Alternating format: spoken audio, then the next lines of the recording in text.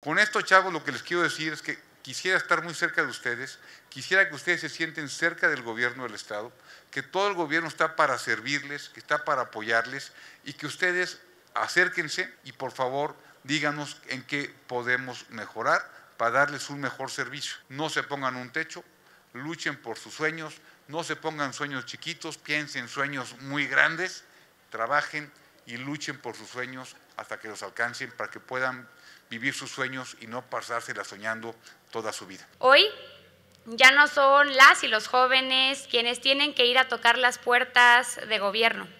Hoy es todo lo contrario. Hoy somos nosotros, servidores y funcionarios, quienes a través de estas jornadas venimos hacia ustedes, a tocar la puerta de sus universidades, a pedirles que nos dejen acercarnos, que nos permitan hacer equipo y que nos ayuden a trabajar juntos.